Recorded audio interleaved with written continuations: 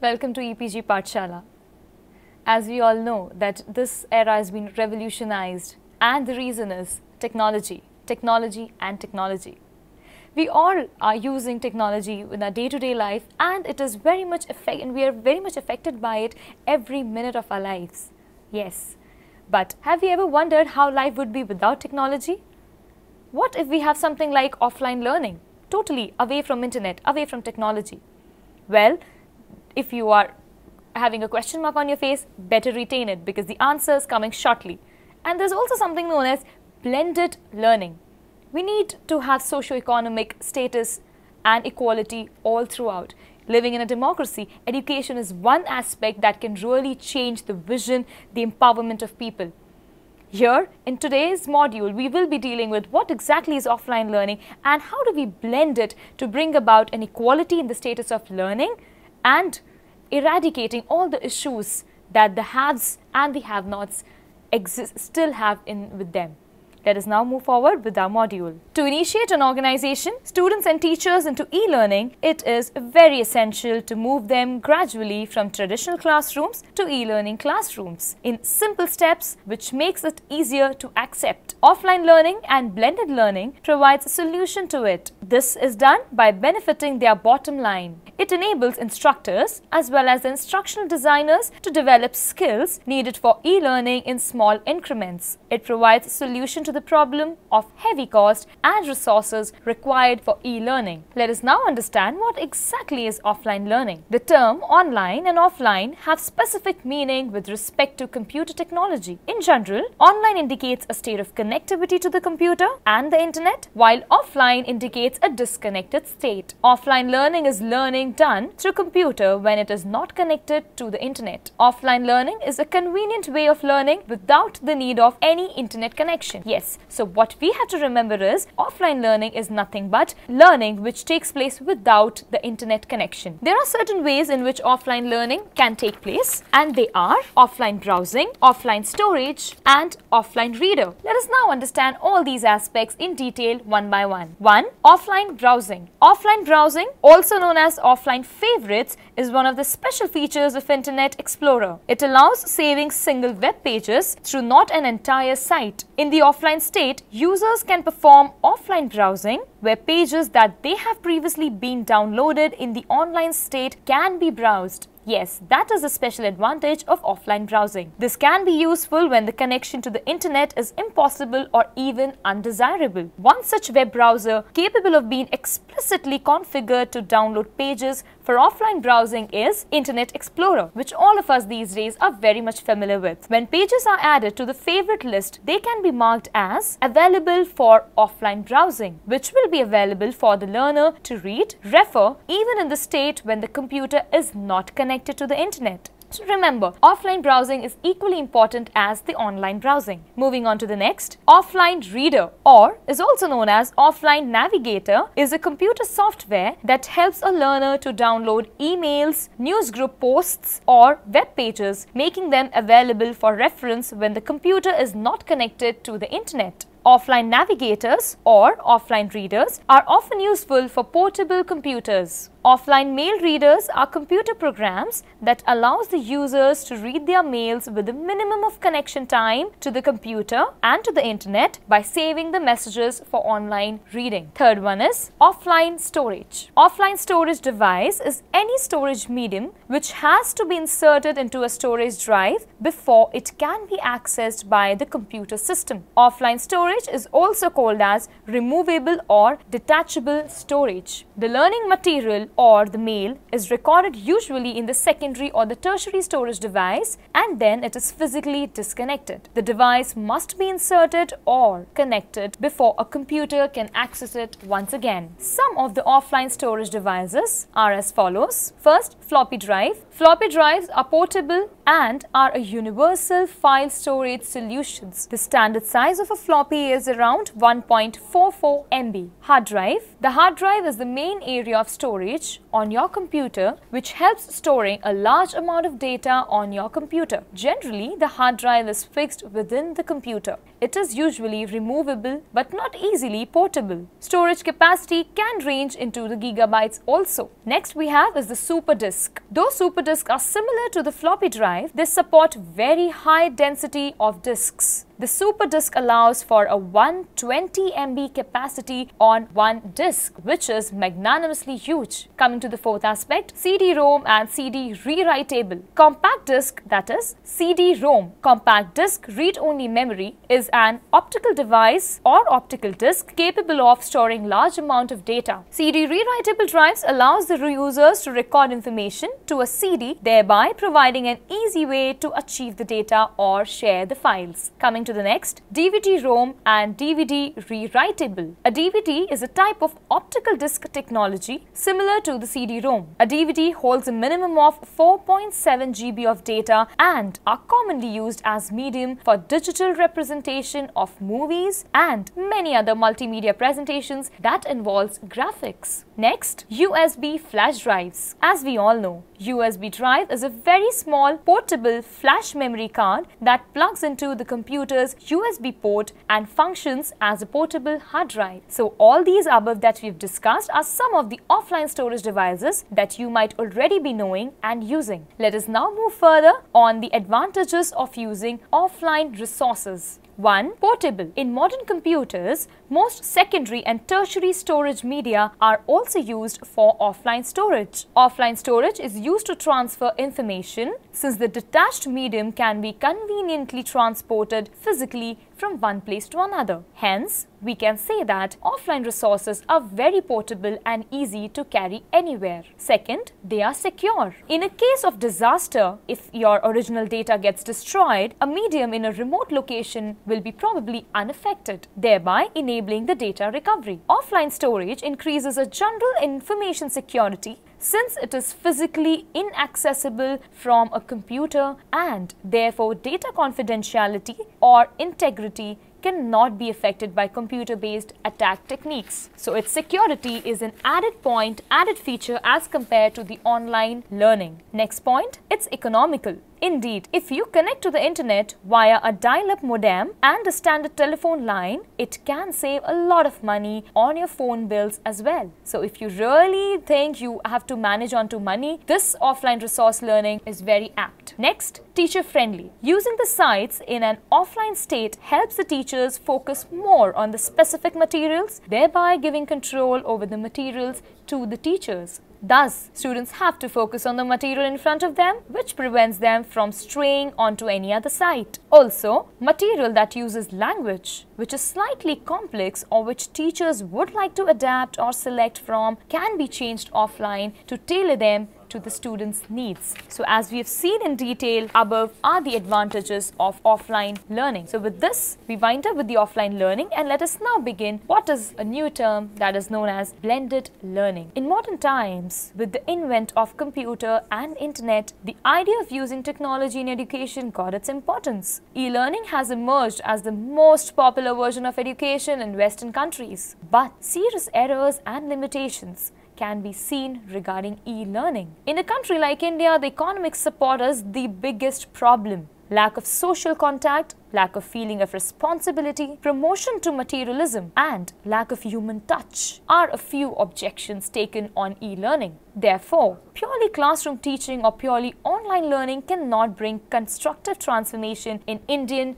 teacher education. Hence, we need to find a middle path to both the solutions. Proper coordination and meaningful integration of both these approaches is essential to bring about a revolutionary change in our system. Blended learning can become the pathway of success towards that direction. The first generation of e-learning or web-based learning programs focused on presenting physical classrooms based instructional content over the internet. Whereas in the second wave of e-learning, increasing numbers of learning models that combine various delivery modes are used. Blended learning offers more choices with the effective way. So we need to understand that we need to blend the traditional as well as the e-learning and only taking one aspect that is the traditional or the e-learning will not suffice the Indian scenario. Let us now go on to the definitions of blended learning. Actually, it is not a new concept as we all know. In fact, in the Indian scenario, we have been using both e-learning and the traditional system of learning. So what is it that we have new here? But it has not been thought about and applied clearly, appropriately till yet. This term, that is blended learning, was initially used in 1997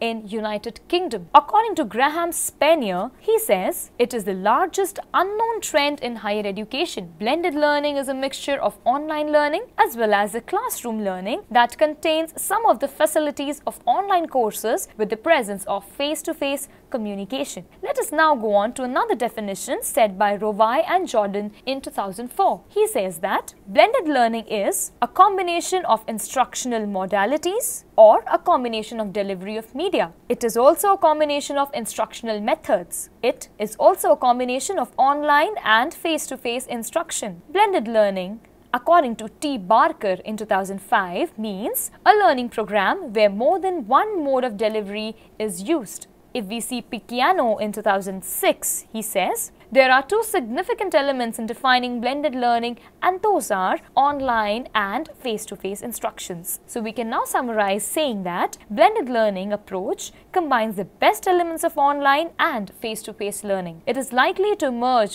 as the predominant model of the future and becomes far more common than either one alone. After having gone through the definitions of blended learning, let us now move on to the concept of blended learning. It basically involves four structures to combine mixed modes of web-based technology. To accomplish an educational goals, live virtual classrooms, self-paced instruction, collaborative learning, streaming video, audio, and text can be blended together with different combinations. This is the use of web-based technology. Next one is to combine various pedagogical approaches. To produce optimal learning outcomes, various pedagogical approaches like constructivism, behaviorism, cognitivism can be blended together with or without instructional technology. So here again we see that different approaches of teaching can be blended with the use of pedagogical approaches. Third, to combine any form of instructional technology, instructional technologies like CD-ROM, web-based training, films, etc. can be used face-to-face -face to lead instructional training programs. Fourth, to combine instructional technology with actual job tasks. Work experiences are blended together with learning experiences to create maximum and effective learning outcomes.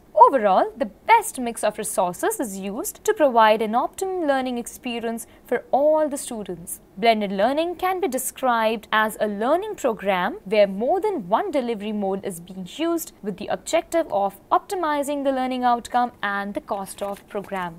Let us now go on with a few examples of blended learning. Make reference material available. Teachers can provide any reference material, for example notes, reference books, videos, etc. online through blogs, emails, etc. Next could be put the assessment online and students can blend the teacher written notes and the online resources. It could also be to deliver pre-work online. It also involves providing online remedial teaching, which is nothing but remedial coachings. It can also be providing guidance, mentoring online and arranging expert lectures online. Now, since we are quite familiar with what definitions is it and what examples are of blended learning, let us now move a little forward and see the models of blended learning. Following are the four models that are used in schools today. 1. Flipped classroom. Flipped classroom Flipped learning is a modern approach to learning. It is opposite of that of the traditional classroom. In traditional classroom, the classroom time spent on lecturing to students, which is none other than the teacher-centered approach. Whereas,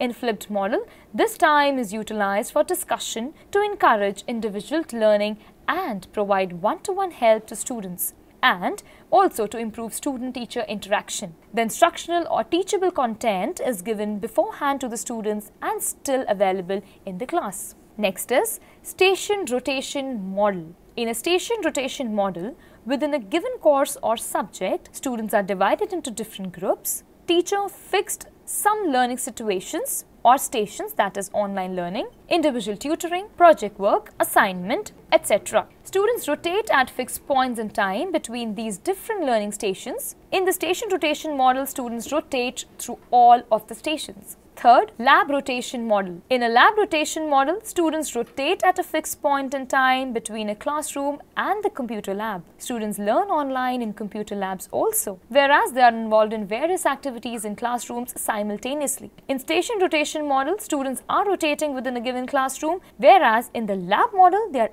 actually rotating out to the learning lab where they are doing their online learning. The fourth model is flex model. Online learning is at the center of students' learning in the flex model. Here students are the doers. Students have flexible schedule of their learning based on their needs and fixed goals. Students get online learning experiences as well as offline face-to-face -face learning experiences. Face-to-face -face learning experiences are given through discussions, projects, mentoring, tutoring, etc. Most of the learning takes place online. Those were the four models that those are used in the schools today. Now let us move further and read what are the advantages of blended learning. First being maximum use of technologies and other resources. Blended learning allows and schools alike to make maximum use of technologies and other resources that they have available to them. This means that it allows schools to take a look at all the technologies and tools that they have and see how best it works to find out the greatest benefit to students and the organization even as they spend as little as they possibly can and still maintain the effectiveness of the teaching learning program. Next, the speed with which you reach thousands of people is unmatched by traditional methods as they can all be reached simultaneously without the restrictions of time and space. So it basically is concerning distance is eliminated. Next, challenges of using a purely online modality are eliminated. Very correct that not all the content can be properly delivered online. The challenges of using a purely online modalities are eliminated here when a blended approach is used. Hence, we say that it's a little more safer and sound to use as compared to online modalities. Next, traditional approaches where they work the best and applying technology related methods. That means one another advantage is that by making use of traditional approaches wherever they can and using technology wherever they are available, the most appropriate achievement of instructional goals can take place. Teachers, by this way, can avoid the exponential increase in costs that can accompany a complete switch to online methods only. It allows students to avoid costs that are incurred through travel, accommodations, and many other expenses that are tied to students related to time and place. Next advantage being flexibility. Blended learning allows learners the flexibility not just with time but also with place. They can do their lessons anytime, anywhere as they have the continuous access to the course material until a meeting with the lecturer becomes compulsory. Next advantage is virtual office hours. It can make it easier to deal with educational administrations and communication with all the students. Virtual office hours makes tutors far more accessible than in a strictly face-to-face -face scenario. Moving on to the next advantage, learning needs and styles are catered. Very well said. Students get their learning needs and styles cater to whether they prefer online or face-to-face -face learning because it offers both in a single course. This leads to more interaction and active participation in discussion. So here we see the learner style could be interactive or be it isolation. The students feel far more comfortable and they can prefer traditional method or online learning method as well as offline learning method according to their needs. Next point, improvement in discussion. For sessions held online, the communication between teacher and student is open and everyone can benefit from it because everyone can view the responses sent by the teacher. These are frequent feedbacks from the teacher resulting in an effective learning environment. Some other advantages could be some lecturers experience an improvement in the quality of students' writing and discussion also. According to the 2009 study from the Department of Education, students who took all or a part of a class online performance test on an average then those taking the same course through traditional face-to-face -face interaction have performed better. That means students who mix online learning with traditional course, that means blended learning, have done a better job. Online resources are updated and upgraded from time to time. Thus, students have access to unlimited up-to-date resources. We can now say that it helps to develop time management skills also and critical thinking skills also. Blended learning is flexible as it gives freedom to the students to choose time as per their convenience. Having seen all the advantages, I'm sure we are all very much convinced of using offline as well as blended learning as the time requires. Now, as we all know, there is always a pros and cons attached to each of the following aspects. We also have certain disadvantages that are attached with the blended learning. Let us deal with them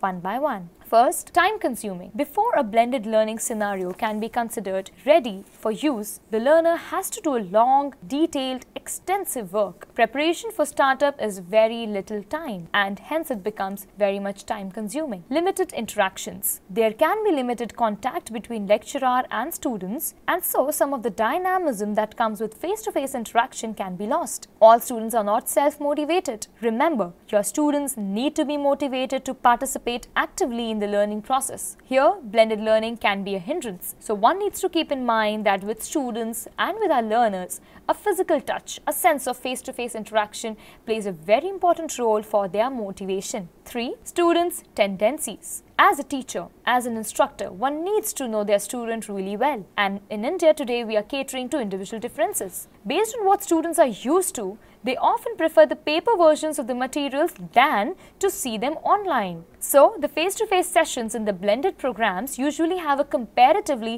more successful feel for the students. Sometimes we even see students being very lazy to go online and prefer and refer to the materials those are available readily. They rather would prefer the traditional approach of teaching. Next, extra efforts from the part of teachers. The materials developed by the lecturers cannot simply be the same set they had developed for the handouts. Certainly, they are bound to make changes. They have to be reformatted so that they guide the students through a process of independent study when they are not in a face-to-face -face session. This additional task requires lecturers' appreciation and is worth it. Teachers always need to be ready with the plan for the students whom would need additional help. Next disadvantages, students sometimes feel that they are given more work to do when distance modalities are used because we feel that technology is there everywhere and anytime since they can access the information, they can definitely do their assignments at any time, any place. So this might turn off the students and their interest. Blended learning is literally dependent on the technical resource and online information. These tools need to be reliable, easy to use and updated in order to give a meaningful learning experience. So we as teachers need to keep in mind that when we are using blended learning, apt resources and apt tools are used. Blended learning needs stable and adequate internet connection which might not be available or which might not be possible always. The school or the institution should have adequate infrastructure and all the facilities required for computer-based instructions. Sadly, but today not all the schools or education institutions are very well equipped with internet or technology. So this becomes a taboo in many of these instructional programs. Another disadvantage could be information literacy the literacy is a must for blended learning or it will lead to a significant barrier for students who wish to get access to the course material. We need to keep in mind that out of 100 students, not all 100 are capable or comfortable using internet, technology or many other gadgets or devices. Even if they are comfortable in using, they don't really know sometimes as to where do we navigate to get the resources. Here, teachers need to act as a proper guide and students should have a proper training. Another and the last disadvantage could be students generally wait and watch all the videos in one sitting rather than on a regular basis. The use of lecture recording technology might result in students falling behind on the resource material since they have the availability right now, since they have the time right now, they might just put on their iPads, their uh, technology and their gadgets and could start refining with the, through the notes. But we need to remember not each and every student are self-motivated or cannot be self-directed. For this, we need to give them different videos and different settings so that they are in touch of education and their resources on time. So we are through with the disadvantages. We have seen what blended learning is. We have seen what offline learning is. It's very correctly said. We cannot get, go to either of one side only. In today's time and being in the uh, Indian education society, we need to realize that there are certain, certain issues that we are facing at the moment. Issue of face-to-face -face interaction or be it issue of mentoring face-to-face -face or having that physical touch with the teacher and the instructor. So let us not forget that traditional classroom or the offline learning is equally important, is equally applicable in today's era in the classrooms as our blended learning is. So always take a middle step and be prudent enough to give offline task or assignment or an online task depending upon the learners. And never forget the individual difference that exist, that persist in the classroom. Thank you.